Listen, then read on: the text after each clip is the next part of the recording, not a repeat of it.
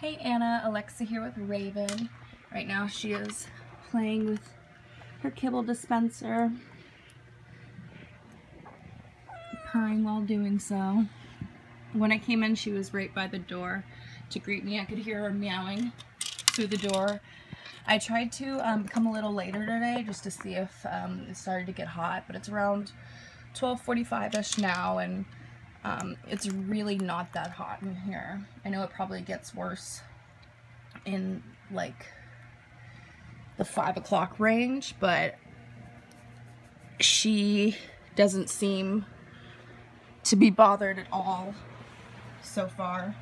She usually hangs out. Hi. She usually hangs out um, in the window basking in it. But um, it's really cool in the kitchen, so if she were to get really hot, um, she could always lay on the hardwood there. And then I also um, put out a bowl of water with a lot of ice in it, so that way when that melts, um, to make sure she always will have water as well as her fountain. And um, so I'm thinking today it should be fine. Tomorrow, if I feel like it's really hot, um, I will come and see her twice. But I think for today she will be fine.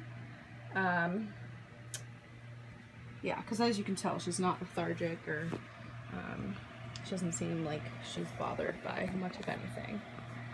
So we did have uh, two peas and two poops all in her box and um, she followed me right on the counter to get her wet food and started trying to eat it from the plate. And um, yeah she's really silly like that. Anyways so she seems like she's doing well. I wouldn't worry too much about the heat today. There's plenty of places for her to hide to stay cool. And I have the fan going and I have it the cord just long enough for it to be able to be plugged in so it's not like she um, can play with it too much. But uh, yeah. I'll keep you updated. Kitty mail